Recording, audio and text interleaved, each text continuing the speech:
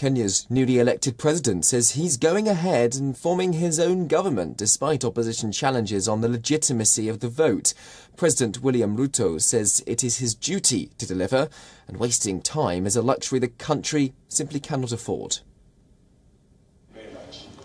Kenya's president elect William Ruto says he's forging ahead with creating an administration, even as his rival in an August 9th election prepares a legal challenge to the result.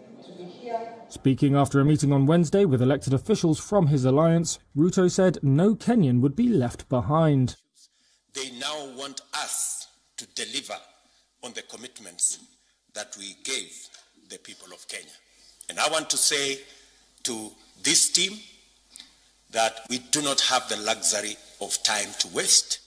However, Raila Odinga says there is no legally valid winner or president elect.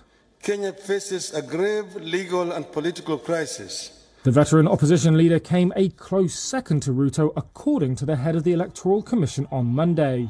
But four out of seven electoral commissioners have disowned that result, saying the tallying process was opaque. Odinga has announced that he will challenge the outcome, which he's called a travesty, through the courts. Without directly referencing Odinga, Ruto had this to say. If there will be court processes, we will uh, engage in those and make sure that we, because we are Democrats and we believe in the rule of law. Odinga has until Monday to file a petition at the Supreme Court. He's gone down this path before, in 2013 and in 2017 when the result was quashed and the election repeated. The court said on Wednesday it was ready to handle any petition and was making preparations just in case.